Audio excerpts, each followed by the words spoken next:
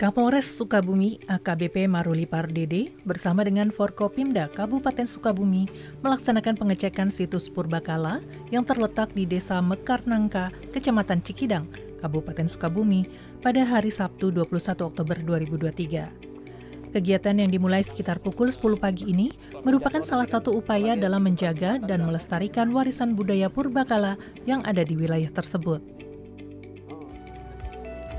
Tidak hanya Kapolres Sukabumi, turut hadir dalam acara bersejarah ini sejumlah tokoh penting, termasuk Bupati Sukabumi, dan Dim 0622 Kabupaten Sukabumi, Kadis Kominfo Kabupaten Sukabumi, anggota DPRD Camat Cikidang, Kapolsek Cikidang, Kepala Desa Mekarnangka, dan Babin Kamtipmas Desa Mekarnangka. Kegiatan dimulai dengan pengecekan langsung situs Purbakala yang terletak di Desa Mekarnangka. Situs Purbakala ini memiliki nilai sejarah yang sangat penting bagi masyarakat dan merupakan aset berharga yang perlu dijaga dengan baik. Para petinggi dan tokoh masyarakat terlihat bersemangat untuk memahami lebih lanjut mengenai situs Purbakala ini. Acara diakhiri dengan momen yang penuh kehangatan, yakni makan bersama.